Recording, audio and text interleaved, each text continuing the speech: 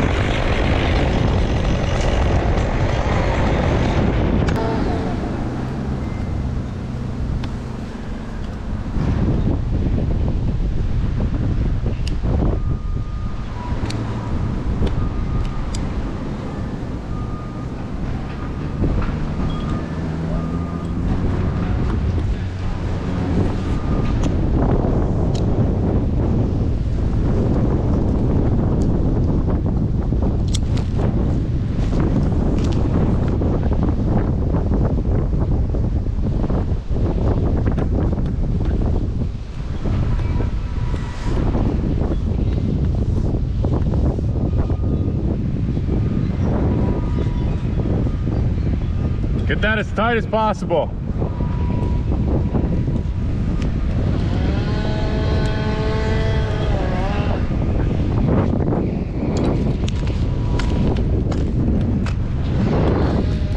I'm gonna get that